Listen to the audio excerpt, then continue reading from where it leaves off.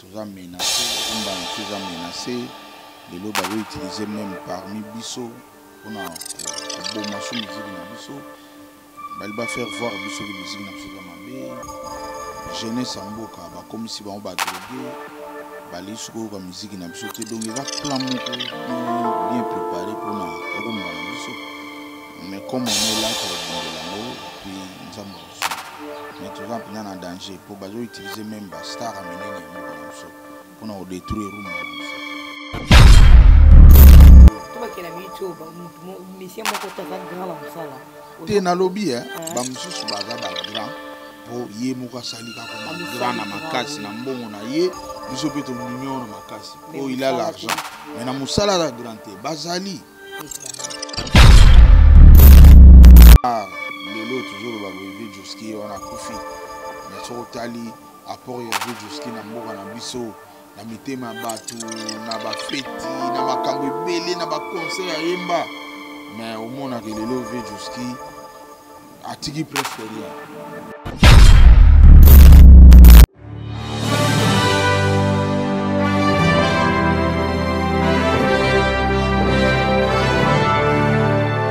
bino balandi ya équilibre télévision ezali bongo ya bino cadet mosomba une fois de plus na numero ya sika mpe magazine ya sika na même chaîne oyo emesana koinforme bino ezali bongo équilibre télévision bozala toujours branche lolenge ete omesana koloba bokotikala jamais kozala dessus lelo tozali bongo na balanga nzembo moko na bango oyo wapi azala mpena nkombo le président lofomboa lofombo bas donc oyo kaka boyebi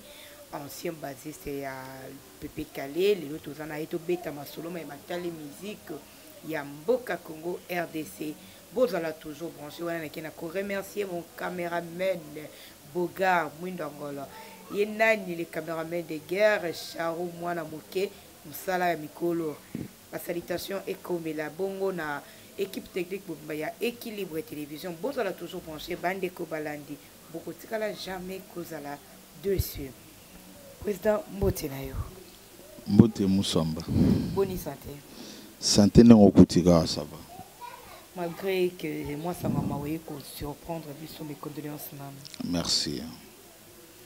Président Boni activité musicale na ngambo na yo. Pe na RDC mobimba ezokende ndenge nini? Bon na ngambo na ngai mikolo ekoya nde kozala bien sikoyo eza nano ralenti mpo naza na preparation baclip na tosisi studio tozo prepare baclip esila epuis tolanse yango temps tokolanse nde torepartir mpena bapromotion baconcert mais pour le moment toza na stand by mpo na mboka meme mboka eza ya kotelema te toza menace rumba na biso eza menace lelo bazo utiliser meme parmi biso mpona koboma su miziki na biso bali ba faire voir biso ke miziki na biso eza mabe jeunesse ya mboka bakomisi bango badroge balei soki oyoka miziki na biso te donc eza plan moko bien bien prépare mpona rumba na biso mais comme on est là tokobundela yango et puis nzambe akosunga mais toza mpenza na danger mpo bazo utiliser meme ba star ya minene ya mboka na biso mpona kodétruire rumba na biso mais bon on est là tokomeka kobunda mouvement oyo osalaki ya yo moko c'est quoi encore le nom le nom m'échappe le mouvement delta acoustique delta acoustique mais quand même ils évoluent bien ouais yango nalobi toza mpena toza calme tosilisi studio sikoyo toza na tournage ya baclip okay. ah, donc d'ici quelques jours awa nzambe epai otosunga tozwi déjà maison production tozwi maison oyo ya édition tozwi manager ap production maison ap production moto ekomanage biso ekosala édition na nga sala production na nga donc euh, toza mpenza sikoyo à l'aise toyebi ke d'ici quelques jours ntango plein ezobima yo ozala na baplateforme et tout ezala bien makasi oyebi ke monde musical ya minute oyo boza en veille bien sûr tokufelaki to, to tokufelaki déjà eh, vie nzaya bauti okunda ye semaine okaka oyo epuis toza sikoyo na morgue toza na vie na biso joskik ya mbokuta eh. témoignage nini okoki koloba mpona ntina ya vie joskik ya mbokuta un grand un grand un grand chanteur oyo asali ba preuve na ye asali ba nzembo libela libela biso tozali bana mike toyoki yango tobeti mpe na ye lelo mpe totikali donc c'est un grand quoi en bref un grand mpenza ngai nazwi temps chance ya kozala na ye ya kotravaille na ye donc c'est un grand na monde musical ya lelo ba vieux nyonso tu bazoko ba grand musicien donc pepe kala akei vieux joski wana mpe akei papa wemba akei euh, emene ya kinkester akei donc na minute oyo finalement totika sikoyo na banani ba grand artiste apart ba vieux wana oyo bazokendekende banani sikoyo totika na bango lokola ba grand artiste selon yo Bon nga na koya ko repondre bongo te po eko ekosala bien te ekosala bien te ba grand ba keyi ba ki grand ngo na ndenge nini na age bien na na musala bien na nini omoni makambo oyo musomba eza ba makambo moko yo repondre boye batu bakomo salela ngo ba reunion bakomo lukela ngo makambo ki grand oui ba grand bakeyi parmi bango ba grand artiste balaki na baoyo bakeyi parmi bango baoyo mpe bazalaki mpe ba grand artiste mpenza te na mosala bazali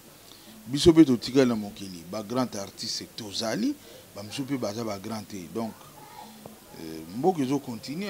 tolobaka ke nzambe ayamba milimo ya baoyo bakeyi ape 20 sango na kimia Mais oyo totikali awa nga nakoya ko enumerer te ye aza grand ye aza grand te lobi ekomela nga ba problème nakoloba boye ba grand tel boye atikali mosusu kutu a plus grand ye ke ye au moins natangi ye te elukela biso ba problème epuis mboka na biso oyebi pour le moment mosusu aza grand kaka po asali toi comme a grand mais na mosala aza grand te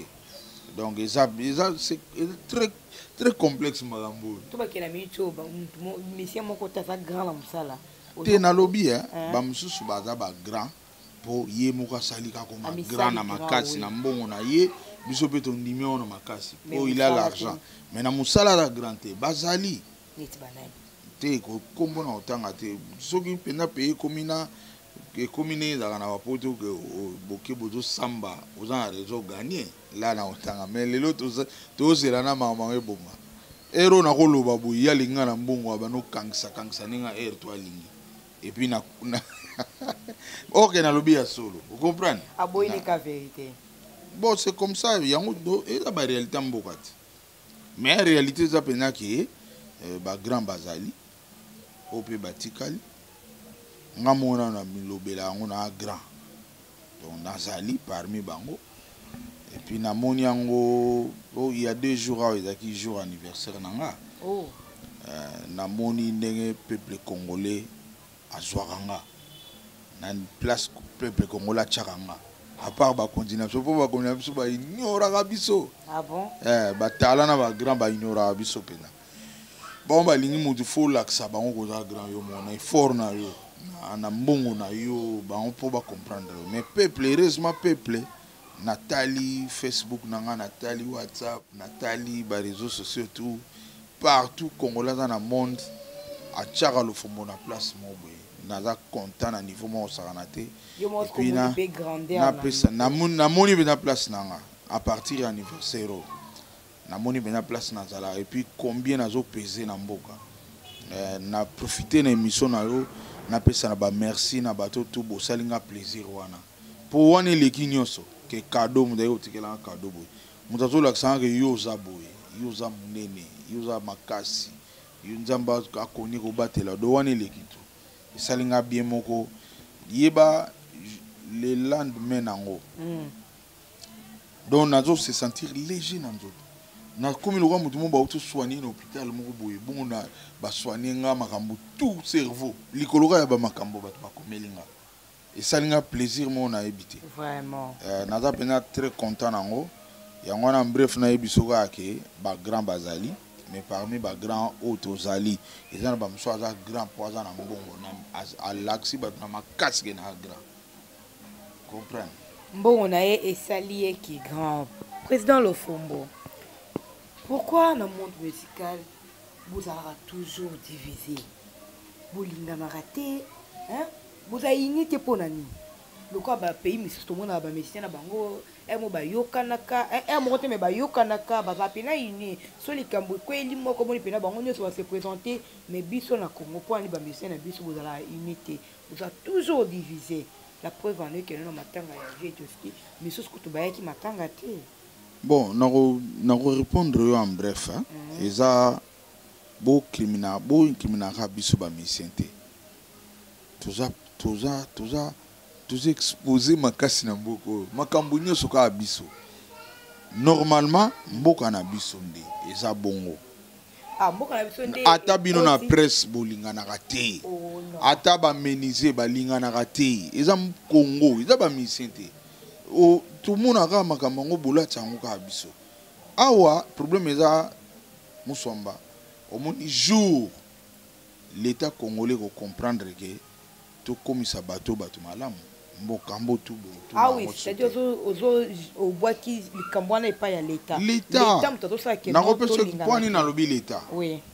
Mosamba omoni lelo oyo na poto moto soki aye kotala yo na ndako amoni ecran plasma ya sika soki ayoki mpasi na motema ne lobi ye mpe akende osenga yango soki asalaka na ye bapesi mpe grand place wana atie mpe na ndako mama motema mabe na ye esili biso soki kongola ya amoni amoni ecran plasma na ndako na yo amoni ecran plasma na ndako na yo me lobi ya kozwa yango kaka te loba na nga motema motema mabene osili lisusu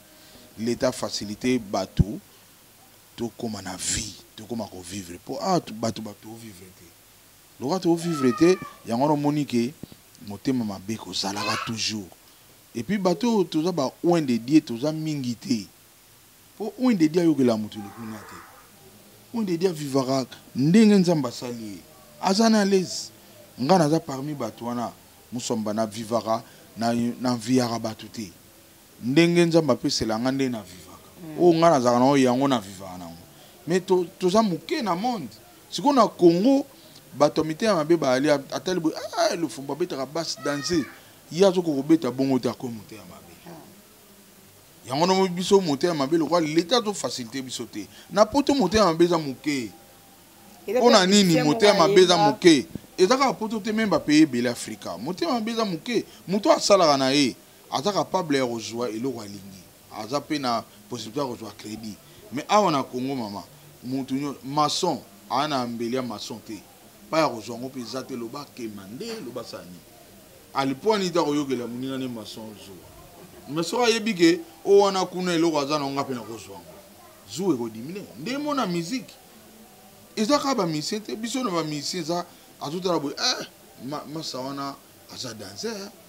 Ah, ye asali boye nde ye nini anga ah, mpe na kosala yango mais sikoyo alobi ya kosala yango makoka te akokota studio te aza na bamoye te mesene bamesene baza te motema mabe mbamo evandi eumeli soki aza motema mabe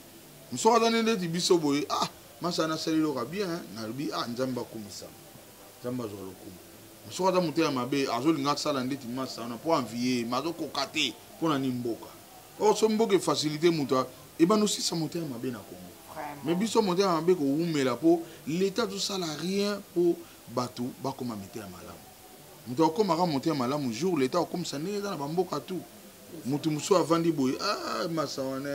ah, carne bien ye mpe ake kuna soki azalaka nde moto ya baketu biso mpe yango ketu mm. na bakuna ake kuna bapesi mpe kar na bano roule ne mpe na kara be karema motema ne efungwami nango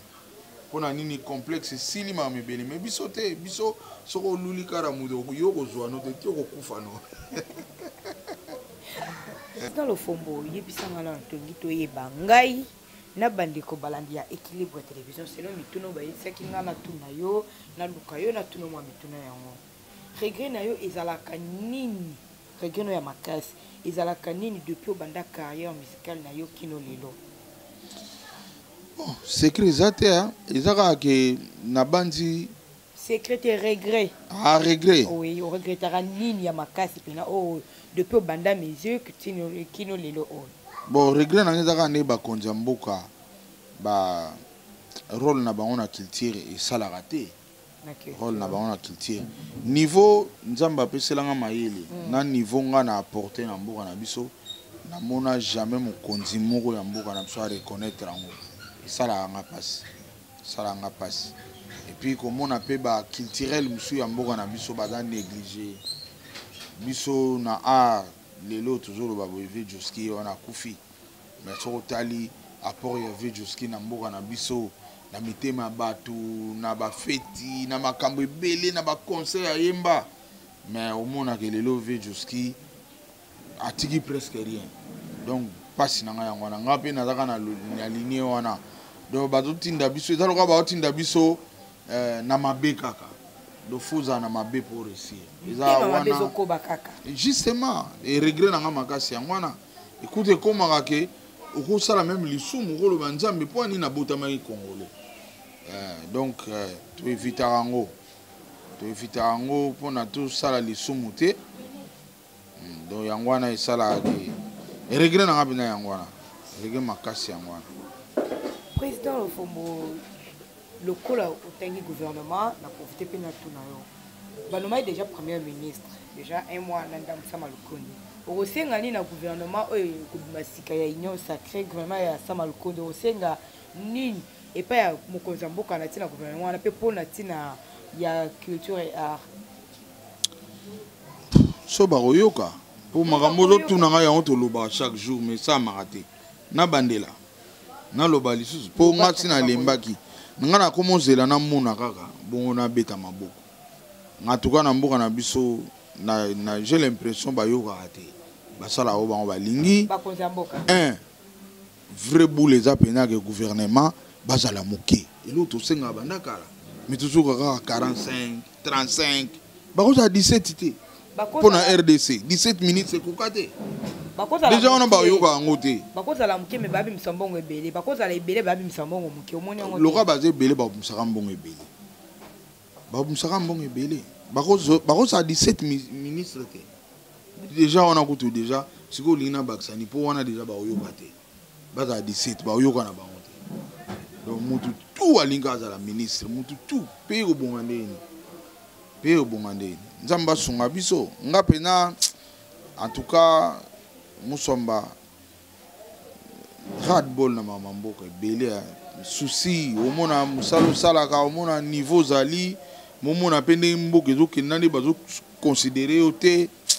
Ça fait mal mais toza toza na choix te Nzambe a décidaki bongo na botama congolais tozo subir kaka mais conseil na gouvernement na ndimi te ke bayokaka biso basalaka oyo bango bakosala déjà premièrement eloko na kosenga déjà baministre bazala baleka kutu 20 te wana bakoyoka te totala mpe baministre bafrançais banini bazalaka na bango ebele te totalaka mpe états-unis wana pourkua kaka biso 45 40 30 ministre wana sans compter ba vice ministre kutu soki okoti donc oke loin ngai nabanzi eloko ya liboso bapolitisien ngai na kosenga bino so boli boyede population bozala moke na, na gouvernement bozala mpena moke moto na moto bozwa mpe misala mpe mbala oyo ministre moko me ozosala bapesi yo batashe ebele ya kosala ke oza no ministre osalaka na yo te ozwaka bambongo ebele biso toza awa toza ebele tozo souffrir ah, mama surtout bakestion boye kotuna nano ngai te mpo esalaka mpasi biso baoyo tobundela mboka na culture nzambe apesaki yo mayele ya kocreye ya koyede baninga eh, tozosala yango na, na, na difficulté moko énorme nayoki mikolo basali branche moko boye pona ko aider ba entrepreneurs na niveau Fatshi bon soki osalama pena po banda kala ba FC ba FPC existaka ba FPI existaka mais eza na ba ayant droit oyo bazalaka na droit na kuna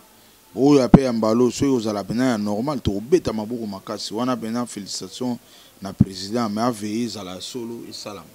wana esala biso biso baoyo toza ba ba Toza batu to aider mboka ka na musala ya, ya kobeta guitare te. Toyekosaka ba jeunes programmation, toyekosaka ba jeunes kobeta guitare, tozo ko encadrer meme na morale ba jeunes baza pembeni pembeni na ngai eh, koboya mabe mais okolingi osala ba centre moko boye mpona ko aider nani akosalisa yango nani ako aider personne donc totala soki baoyo ya mbala oyo ekosimba yo ozala bien mpona mboka Ok bandeko balandi lelo pena tokozala molai te na banzi motuna bosengaki na ngai natuna na artiste na bino boyoki regret na ye eza mingi na bakonzi ya mboka bakonzi ya mboka s'il vous plaît boyokaka mpe biso population oyo tozolela auprès de vous na ntina ya makambo etali art hein? botala mpe culture et art na miso ya mawa bomeke mpe koyokela bamusicien bazosenga pene na bino tokota nano mwa moto na moko nayebi te soki ekosala mpasi to mpeni lelo naye mpena kotumboloa te ngai nalobaka motuna tu ezala na eyano nango président lofombo n'est ce pas que musique etambolaka na kisi et sacrifice ngai nalobaka non na expérience na ngai mpo ngai naza musicien oyo nayebani mm. nayebani na Na kutana na kisi te na vie na nga na part na nga na kenda pe na ba pratique ya mabe te na yebi nganga moko te na monde je dit bien nao loba devant la tele batu bazo tala biso na ba youtube na yebi nganga moko te oyo lofombo a mona a travaya jamais donc lokola na zalaka lofombo oyo continent nioso nzambe a sala eyebi nga ba yokaka mosala na nga puis ba sepelaka na ngo Ah, nandimaka kisi te nandimaka kisi te nakomosenga kutu na bino mosomba boyede mboka bosala ndenge basango basalaki ntango biso babi bana mike basango balakisaki biso kisi te basango batikala olakisa biso diable te sango soki omoni mpasi meme na ndako na yo bobengi aye soki eza mpenza esprit akokanga yango ake bokomi pe na kimia mais tosala te ndenge lelo ekomi lelo na mosala nzambe azolakisa o diable yaka tobengana ye yaka tobe mikolo nyonso donc biso na ba tv awa to evite kobeta masolo ya bakisi yango ezopesa yango succès yango esali ke ba jeune jeune mosusu akovanda boye eh, musomba tuna ye lofumbo makambo ya kisi se lofumbo wana basi abetaka eza kisi jeune alandi na ye donc tozomema ba jeune na mabe Nao senga penza na bino batu bosaka ba emission bo bafoue makambo wana. Eza ba publicite bazo yela biso po kisi e regne. Kisi na musique ezalaka na place te. Batu tout ba sala kisi kala oyo toyoka masolo ba kosaka bango. Ba utilisa ba puissance na bango na ba ngenge na bango Nzambe apesaka bango. Po biso to kiye na ba monde yango ya miziki to moni soki o travailler na yo te soki oza nano na mbongo te oko sala eloko te. donc loba kutu tuna kaka soki mbongo ya kisi mpo me muziki na kisi ou bien bale na kisi ou bien meniseri na kisi bien bamason ba na kisi eza lokuta moko ya danze okozwa kisibiso kutu tomema ngambo na makambo nyonso biso eza kaka na kisi te na tu kindumba biso na nyonso biso or lelo bato baleki biso na kindumba baza ebele bapaster baleki biso ba ba directeur ba ba compagnie ba leki biso ba ba ba bato nyonso kaka baka ba chef ba leki biso te biso elekaka te biso nde toza ba homme public yango wana sango na biso epanzana mais bato ba leki biso na yango baza ebele mais ya bango eza ka sese ba bomba bomba ngo po baza ba homme public te biso sikoyo toza na biso ba homme public mwa moko na biso soka biso yango omoni na komo profite mikolo ba musicien bobala pe bobala surtout ba vie na biso ebele oza mukolo oza na mwasi na ndako aboteli obana kitoko obalaka ye te mais majorité ya bamusicien mpo omoni na alliance ndenge olati yango boye c'est tout un problème ezalaka nini yango nazosenga te bavie wana bamemisa biso bangambo trop baquestion boye likolo na bango te likolo na bango oza na mwasi ya bato ya bien na ndako obala ye te opesa mwa dekazi okosa baparent wana baparent na baopanza sango lelo bamoswamba baya kotunaka biso baquestion Bobala basi na bino ba na bandako boboteli bino bana bien basi wana bakomobenga nga babi papa continue continue nga mpe na kotika su te bobala basi na bino baza na bandako exemple à suivre nga na leki na bino na leki na bino bino boya baya na biso eza malamu te baleki oyo mpe baobima balanda exemple bango deya bakolanda exemple na biso mpo biso tobali nzambe amoni bafamille babenir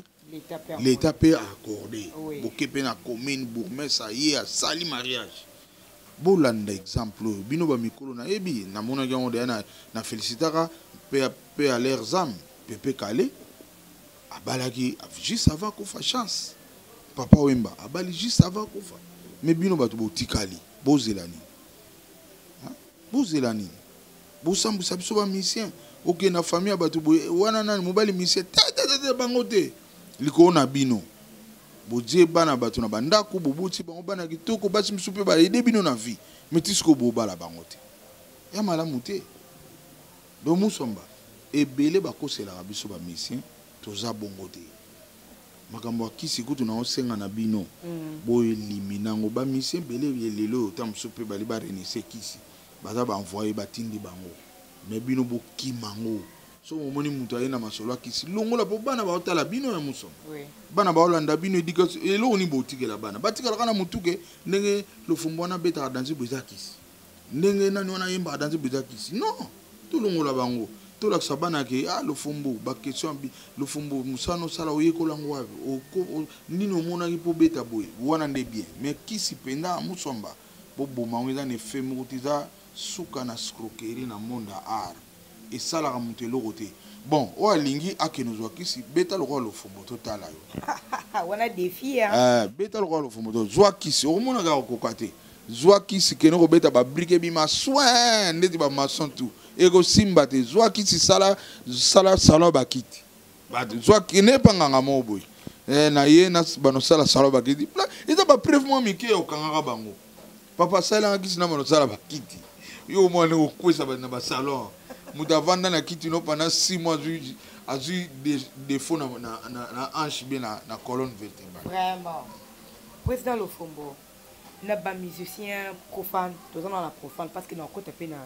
religieuse wana kutu kabola kokabola yango te bon nasangisitozaka ba musicien wana ezali makambo eh. ok hmm. na ba musicien congolais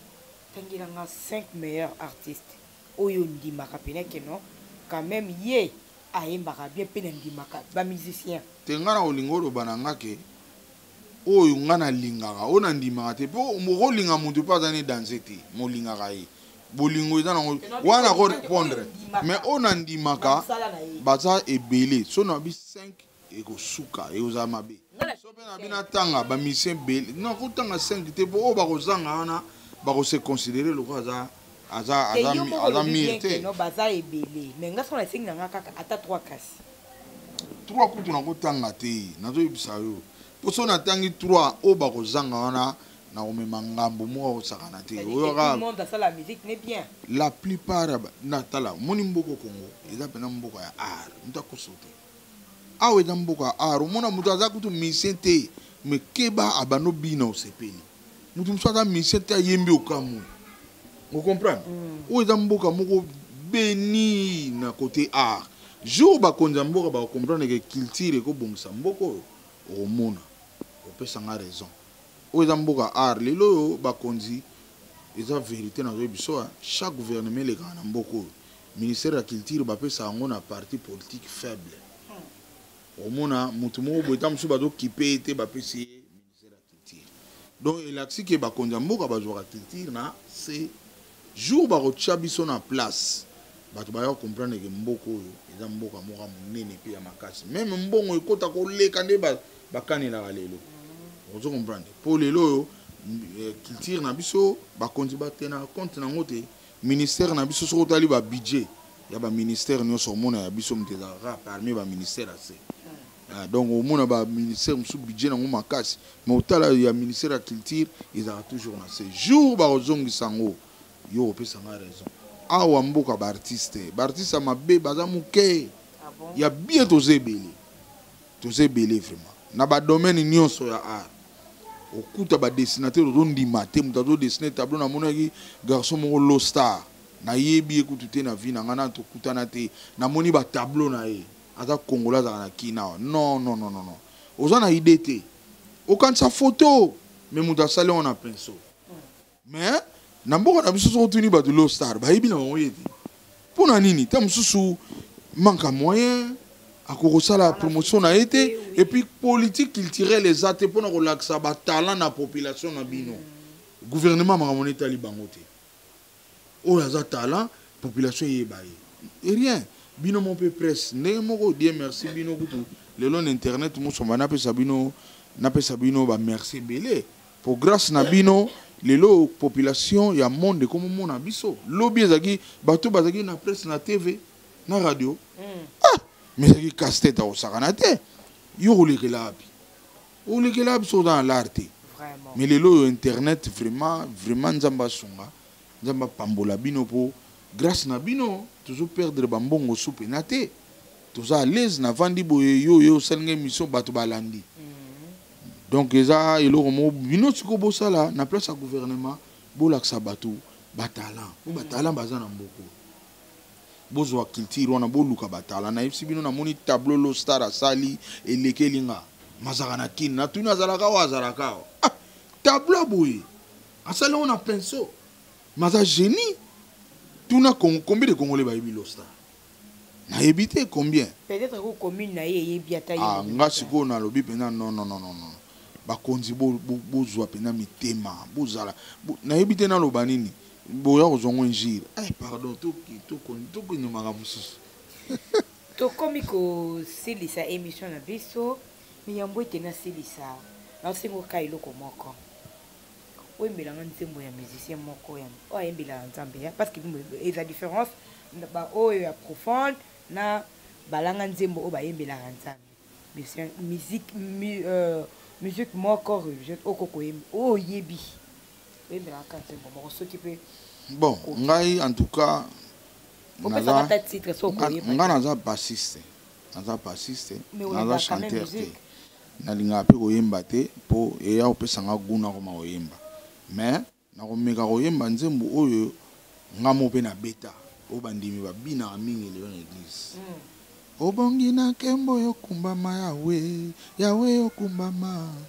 Obongi na nkembo y'okumbama Yahwe. Nga mpe nabeta basse wana. Donc ti omonaka na eglise bazo bina danse wana, nga mpe nabeta basse wana. yango mpe nzembo yango nalinga yango makasi bachantre chrétienne mosusu bosilika te oyo ayembi ka nzembo emekano awa bakestion ezalaki boye na beta eh, misu mpe ezali misu mpe ezali nalingaka na ngai oyo na beta te eza ebele mais nakoprefere so nayembi yango nakozala na raison te ntango bakoya kotuna nga nga oyembaki nga te mpo na nini raison ekozala te yango wana mpo nazwa ba raison nasuki wana nayembi kaka oyo nga nabetaki nayebi mboka na biso ndenge ezali mboka na biso eza mboka moko ya bapolemike moswamba nano omona te nga lokwa nalingaka problème te nga mpenza nalobaka naza oin de die nalingaka te baya koloba na nga ke yo oza oin de die nga naza oin de die mpo natalaka ndenge vi nanga ezokende ndenge natambolaka naza oin de die alors na evitaka baproblème na baninga et puis eza recommandation nzambe alobaki zala bien na baninga na yo linga moninga no ndenge yo moko milingaka yango nalingaka mingi kokende na nzela wana en tant que parent mpe en tant que vieux ya bamisusu euh, bapeti na yo oyo bazobeta musique mikolo oyo conseil nini okoki kopesa na bango parce que tomoni mingi bakomi kochange eh, nini eyembeli na bango eyembeli ya congo ekomi kobunga bakomi kolanda mingi musique ya expert bakomona na baivoirien bamalien wana nalobaki yango banda na ebandeli eza eh. bitumba bazobundisa rumba congolaise rumba congolaise eza miziki moko makasi na monde alors ils ont compris que faut kodétruire yango bakodétruire yango ndeni baye parmi biso te baye parmi biso nyonso wana mpo na nini l'état leta azotikela bato bapaya baya kosimbaka bamisie na biso misie na biso akomi riche aloba ayebisi ye kobetaka rumba na bino te beta miziki bo moto asani aza congolais baobligeaka bango nazoyebisa yo baobligeaka bango baobligeaka bango mpo nga congolais naza boye natiki na rumba nakomobeta miziki moko ya bato et puis musique oyo ya pamba pamba eza na valeur même pas na oyo ya biso mais lokola mboka mobimba ekomi ba drogue pour la plupart ya ba jeune lelo na congo la majorité baza sous normal te bana tout baomela ba agene baomela ba whisky oyo basalaka na limete wana ya moins cher donc c'est grave tala eloko ya ndenge wana eloko ya ndenge wana eleki eleki moins cher par rapport ya ya, ya makambo mosusu oyo bato baa nango besoin hmm. sikoyo esali ke bana wana soko oke na milie na bango bayokaka banzembo ya pambapamba wana sikoyo banzembo ya ndenge wana mpa na biso baartiste ya solo toyebi ke nzembo ya ndenge wana moto akobeta yango artiste oyo aza na se mais sikoyo yango ba grand artiste ya congo bakomi mpe kobeta non eza bagarre moko faci tala makambo bien eza très sérieux bazo combattre rumba musique ya mboka na yo soki otelemeli yango te eza mawa trop musique ya mboka na yo eza musique moko ya makasi kosakana te mm. et puis partout babangaka biso mais lelo toza combati bakoteli biso na mboka do baartiste congolais fo tokoma kobeta ndeti baninga ya biso moko tobwaka yango et puis lelo oyo bajeune ebele bayebi so kobeta rumba te la plupart ya bakoteli biso na bacentre waloni ba, ba, meme ina na bino bosala ya mboka jeune akei tanga na ina azo maîtrise meme rumba te hmm. azo maîtrise rumba te basangani balobi jazz bien pop bien rnb bien yeah, c'est grave mais nyonso wana eza nini bakonzi ya mboka nionso oyo tomono eza bakonzi ya mboka siko conseil nini okopesa na ba jeune artiste wana nga conseil nakopesa bango eza te mpo ye aza ne na besoin vivre aza na ye na besoin lia amela arenie mpe asaanisoki abeti miziki wana te na sorte oyo bazoebongo eh, bato basimbaka ye bakosimba endeni biso nalobi na yo musomba tovandi bopwani mpo tozangaki ba producteur die merci yango na mpe naloba kaka tozalaka mpe patient mm. nga mpe patience nga nasedaki te nasedaki te naza na kapasité ya kosala banzembo na ata 30 na mokolo moi banzembo ya pampamba ezobeta wana nakokosala yango ata 30 na mokolo moko mpo eza mosala oyo nakonyokwamela te mhm. eza kaka nasimbi nasimbi nasimbi nayembi makambo apamba pamba bato babanda obina na bana mike bameli drogue mais oyo ya biso ya mpasi wana mm. yango wana nde eza nini mais nasedaki te nasedaki te mais lelo oyo nzambe asungi nga nazwi producteur oyo nakobeta miziki na nga ndenge nalingaka epuis nzambe ayebi nde nakose retrouve lelo oyo la bonne musique oyo toyebaka eza lisusu bongo te musique ekomi kaka bétise na monoko qu'est-ce que fait que non bakotisaka toujours bozoba na kati ya musique musique wana mpe tozoyoka yango en famille bana bazokola na baminike na ba Terme yango na mitu na bango ezobakisa nini na education ya bana pe na avenir ya lobi? Mais yango nazoloba ti bakonzi ya mboka mutu lokola Gode Lofombo aza musicien oyo alingi koyemba betise te na vie na ye mais yo mokonzi ya mboka yo bourgmestre yo ministre yo nani yo riche ovandi na ndako oyebi mpenza ke Gode Lofombo alinga kosala makambo te mais Gode Lofombo soki aza na temps te mpo aza na mbongo te yo na bambongo na ebele ovandi na yo ozo aide mboka te bango nde bazo permettre makambo esalama mpo bamisien oyo balandi wana baza oyo ngai nabengaka boskise ngai ko eza baza bafaible na esprit ozo comprendre mm. oboyi kote culture ya mboka na yo okóma koyembaka babétise mpo kaka mpo kaka ovivre obandi kofaire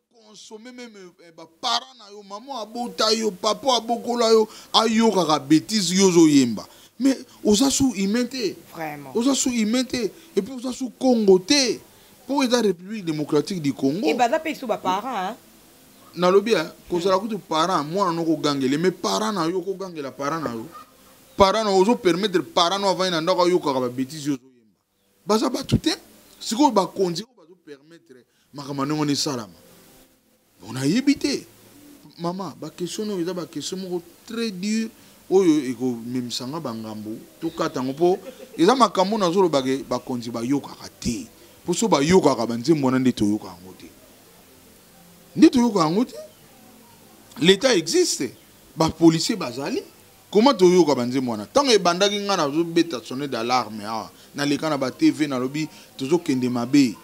Mais lelo tokomi wapi? Hmm. Lelo siko tokomi oyoka ngo ti na lopango na yo ovandi pena nzembo yango baye bando beta. Bana bakoko na yo batelema bando bina. Do yo moko ozomona po ya ko intervenir ekomi tard. Do ekomi siko fo nini operation moko ya leta bakota makambo yango sansire eza wana kaka mpona kosenga biso bambongo kokanga kaka inutile kofrene eloko ya moto ebima te o oh, mosala bango fale basala yango wana basali yango te la police ndenge moko mokonzi ya la police ozoyoka babafle te na mboka na yo makambo ezoyimba na babafle na yango bon mama nga pena oyo eza role na nga te eza role ya badepute nga role na nga eza naza artiste nayemba me nakoya te nabundisaka bakonzi mpo lobaka yanga mpo bakonzi yango non naza wana mpo na yango te nakolinga te nazala awa mpo bakanga ngai mpo na makambo bango bayokaka na bango te mpe boyebi ke bakoyoka te eza na sens te tokende na biso makambo na biso ya culture ndenge nzambe asalaka makambo ya bakonzi ya mboka oyo tozela bango so bakobongisa tokobeta maboko so bakokontinue kaka ndenge bakuti wana nzambe kaka ye moko ayebi président tokomi na suka ya émission na biso me ya mbwete tosilisa yembela biso na nzembo moko ya ya équipe ya nini eh, mouvement na yo oyo ya nga oyo ya yo oyo ezo oyo- mwana oyo obimisi malgré nano abimi officiellement te mais quand même évolution eza makasi mais lokola naolinga nzembo yango bato balinga yango ngai nakolinga te nayemba yango mpo ngai so nayembi yango nakopresente yango bien te ngai naza chanteur te ngai nakolinga nzembo wana balinga yango bayoka yango ntango chant ekobima na chanteur ayembi yango moko naza basiste soki basi alaki yango nde nabeteli yango nakolinga te nayemba yango moto aloka ah nzemba yango eza nango kaka boye mpo nga na nanga chanteur te voix nange eza voix voix angélique te eza voix voix kaka oyo nakoyemba mpe mais eza voix angélique te oyo oh, bato bayembi kuna eza bavoix mpenza mingongo ya baangélique bazwa patience Bozwa patience kala te album ezo bima na rappeler ezo bima penza na maison professionnelle AP production ya DG Marcel Nzundu donc bokozala bien servi na ba plateforme et tout eza sous ndenge ezali liboso te lofombo abundaka na ndenge na ye ba nzembo eketa aboye na ba ndenge na ye lelo sous te lelo penza nzembo ekoyela yo ovandi penza na, na phone na yo ovandi na ordinateur na yo nzembo eye volonté nokamde osenga Osomba bi oyoka bi oyiba. Elobi ebele wana. Mon president tokomi na suka ya emission na biso message nini okopesa na bandeko balandi oyo balukaki yo cadet lukela biso lofombo sugashu lofombo sugashu ye wana tosili kosukisa na yo message nini okolonse na bandeko oyo bazotala yo na minute oyo message nazo lance na baoyo batali nga surtout kaka bakonzi ya mboka bosilikela nga te naza kaka artiste naza kaka nalembi naza desi na mboka ndenge bozodirige mboka nde mm. bokambaka mboka naza nde desi nazwi grâce ya kotambola na monde nazwi grâce ya kotambola na monde namoni ndenge bamboka mosusu etambolaka na ndenge mboka na biso etambolaka Non trop c'est trop bokoma pena na mitema ya batu bokoma na mitema ya baninga nde bakamba pe ba cote mususu bosala pe biso bongo tokoma pe kolingana tokoma oyinana kaka pona pasi eleki tokoma kolingana entre biso na biso tokabwani botiela biso ba condition na baninga bazalaka nango ailleurs Hein? nazoyebisa bino ke bakonzi ya mboka so boyebi te coupe ongle ya bien na mboka eza te coupe ongle ekataka manzaka okati bina linzaka no tsa linzaka ezoki te coupe ongle wana eza te mais nasomba yango na banairobi oyo ya bien wana c'est pas normal papier génique ya bien na mboka eza te hmm. papier génique eza te ya bien nazoloba bien bolinga mboka nayebi ke bakonzi ya sika bazokota mhm. gouvernement sika ekota boyoka mpe makambo tooloba baoyo basalaki liboso baleki leki miko eleki j'ai l'impression batikala koyoka te mais nazwi occasion na émission mosomba nasadresse na odresse na population te population nabanzi mosomba omoni biso voyagaka mm. omoni ngoi awa mpa na nga awa mm. omona te ke eza mpenza shiki te Oyebi koko bwaka mpe eloko mwa mabe awa mais eza na ba place mosusu okomi okobwaka eloko ya mabe te c'est tala tokende na bamboka nauti japon dernièrement na tokyo donc totala mboka ozo comprendre te siko problème nini toza na yango hmm. koma tokozala boye te koma tokozala boye te chine mpe ndenge eza lelo ezalaka bongo te kala sikoyo to s'adresse na président de la république ou soit na gouverneur ya ville ya kinshasa ngai nazo kosadresse na bakonzi eza kaka chef de l'état te chef de l'état akotya mpe yo te mm. oza pirie yokani soki obebisi akokobeta mpenza bien bien alors donc bakonzi nyonso bamosusu baa bapire chef de l'état bamosusu baza état de droit etat de droit epona te epona te est ce que sarkozy bacondamne akoti prison na france chirac bacondanaka ye akotaka prison Ah, eza na bato mosusu batusha ah, tant mieux eza na bato mosusu batushaka bango eza na bato mosusu batushaka bango te c'est partout na monde hmm. bato nde tozwa conscience batye oyo na poste mpo biso defo na biso eza nini batye moto na poste aza na besoin koma milliardaire vraiment batye bourgmestre aza na besoin koma milliardaire chef ya quartier aza na besoin koma mvwama aza milliardaire te makomi ozoboma biso yango wana mutu na mutu bakotya yo na place luka makambo ebonga batye yo ministre oyo etongaka banzela nga nde nayebeli mpena na monde awa so bali basala nzela fo kende japon sola na bajaponais sikoyo yo oza ministre makambo wana me otirki moko azosala nzela kuna o chinois moko wana eza nini eza normal oh, te oza ministre oza ministre soki ya nini pays na pays baza baspecialiste na makambo moko boye mm. kende di tout droit na pays wana biso oza na ba minerais to na mbongo na biso bokokopere na bato wana omona kaka ke na ta moko moke mboka ebongi na yango donc eza chef de l'état oui mpo ye nde aza na tete ya makambo tu ye mpe nakozwa occasion lelo na émission naloba chef de l'état nga mona lofumbu naza wana aza artiste génie doué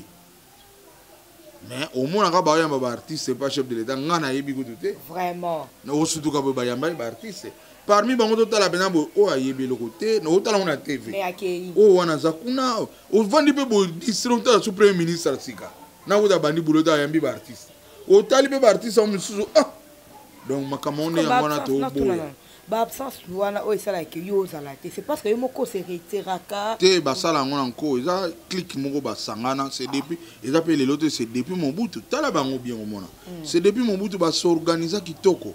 baza na monopole ya miziki na mboka na biso bango bana décision bango mpe baa na mbongo alors soki likambo ezali bango kaka te eza division te eza clique moko mm. ba s'organisa baza organise baza mpe na bajeune oyo bango bapona bayebi ke jeune oyo bon azala na biso wana ozala na biso ta ozala bongo bon euh, chef de l'état abengaki nga nabenga bato euh, banani bino boya boya boya omoni esalamaka bongo eza te kazozwa par talent ou bien par comportement ou bien par rendement non eza par oyo ye asepeli na yango atali boye ah yo solo abie na ngai yaka chef de etat zoyamba biso ba premier ministre azoyamba biso yango elekaka na mboka or bakontinue bakoboma système wana prochainement mokonzi oza na baconseiller beta benda bango matoi mm. bino nalingi so babetise oyo esalama te prochainement so nana besoin bamisien bokota boyeba banani bakozala boluka boyeba po ba eza na ba musiciens mosusu ya talent oyo mpe torandaka service lwa donc na niveau akosangana te na mboka me tose retrouvaka te na makambo wana comprendre mm. donc yango wana na, na, en tout cas liloba suka nga nga na kolobelaka su population congolaise te mpo population congolaise toza parmi babon ya monde mm. parmi bato ya mitema malamu ya monde biso bacongolais mais bato bazodirige biso nde baorendre biso tokabwanaka mm. toswanaka tokóma mitema mabe Donc ba konzi nga nako lobela kaka bino bo aide biso to lingana bo aide biso to lingana ba tie yo na place moko ko linga te yo koma millionnaire ba ninga no ba tikala kaka ba bato ya pasi luka ba ninga na yo wana zala no kaka moto ya bien na vie eza na yo pe bien oza na 3 jeep na yo ekoki ti 3 jeep ya bien oza pe na ata mosusu 10 lopango ekoki ti olingo koma na ngo 100 50 olataka no mpe bien oyedaka no mpe bato ekoki ti yo olingi kaka mbongo etikala mokolo mpe okufa bato basakani yango bie bakangi yango na bamboka moko boye eza na sens te vivre na yo kitoko meluka mboka na yo etombwama mboka na yo bato bakoma kolia mama oyebi ke na congo ah, bandako elambaka eza mingi te boloba yango ndako pene oyo elambaka so basali recensement bandako bandako oyo elambaka eza moke mm. tala bamakambo mosusu akolandela yango wana bandako elambaka eza moke bakonzi bocomprendre bocomprendre lelo moto akokosomba so etata thomson te lelo nde toloba boye etata eza 30 dollar thomson ndo fo sombaka mopiku baye balambi na pai baoyo baza nango eh, na possibilité wana nayebi te soki banani mpo biso bato tosalaka basalaire na biso minimum eza 100 dollar na congo Salaire minimum ya ba congolais ebele sikoyo oloba osombe tati ya 30 dollars bana bakotanga bakokendaka classe chaque jour na ntongo topesaka bana chiki la mpo bakende ozwa mbongo wana wapi yango nini esalaki kongola azala moyibi yango nini ezosalaki kongola akoma motema mabe yango ezosalaki kongola asalaka badetournement Miso makambo tout esili congolais oyo nga nayebi nga nazala na ba mboka ebele na tamboli meme ya Afrique toleki presque monde entier na moto ya malamu